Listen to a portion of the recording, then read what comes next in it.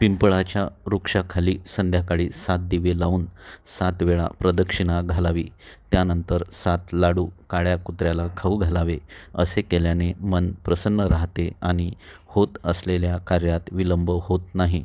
उपाय दुसरा पिंपळाच्या काडीला एका स्टीलच्या ग्लासामध्ये ठेवावे त्यामध्ये पाणी भरून ठेवावे आणि सकाळ होताच ते पिंपळाच्या वृक्षाच्या मुळाशी टाकून द्यावे. याने डोके तणावरहित राहील आणि चर्मरोगसुद्धा बरा होईल.